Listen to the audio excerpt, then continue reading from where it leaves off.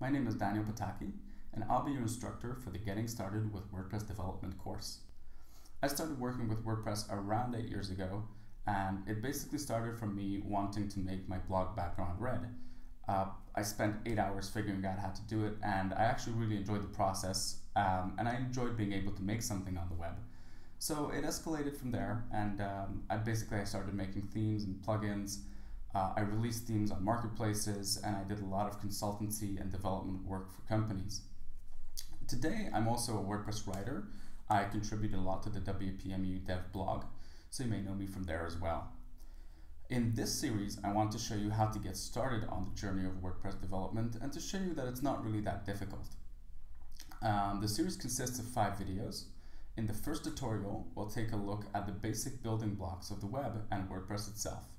This would be HTML, PHP, CSS, JavaScript, all the languages that you'll need to know somewhat to get started.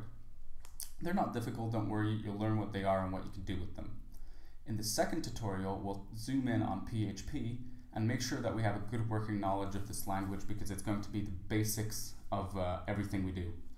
Um, it's a server-side language and this is what enables you to create dynamic websites like for example with Facebook, Twitter, and all those good sites. In the third tutorial, we'll take a look at the basics of creating WordPress themes. You'll learn what themes are, what files are required, and you'll learn how to build a basic frame in which you can work to create a good theme. In the following tutorial, we'll take a look at some additional elements of themes, widgets, and menus. You'll learn what these are, how you can code them, and how they can work to create a great theme. In the final tutorial, we'll get started with plugin development. Plugin development is actually um, quite easy. It's very freeform, and whenever you have an idea, you can basically put it on paper, so to speak, and get started really quickly. You'll learn what files you need, what code you need, and how you can build a working functional plugin. I hope you enjoyed the series. If you have any questions, please do let us know.